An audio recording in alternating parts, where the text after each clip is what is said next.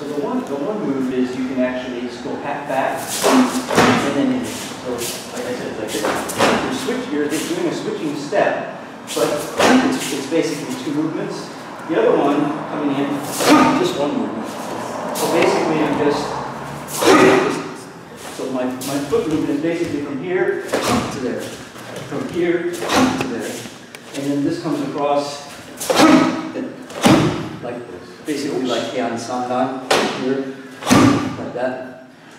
So you're here, but again, you got to use the springiness of the floor and your legs to create that really quick angle change in your body. So it comes in. Okay?